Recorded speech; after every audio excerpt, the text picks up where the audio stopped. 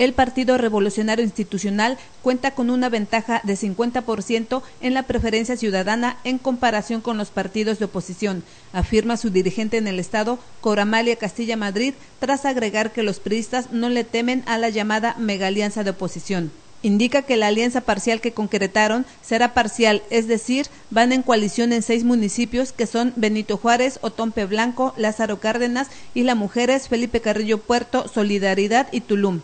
En ese contexto, el Partido Verde postulará en coalición candidato a la presidencia municipal de Isla Mujeres y el diputado en el Distrito 12, mientras que el PANAL llevará los distritos 12 y 15. El resto de los espacios, incluido el candidato a gobernador, serán a propuesta del Revolucionario Institucional. Con imágenes de Víctor Hugo Álvarez para Notivisión, Patricia Vázquez.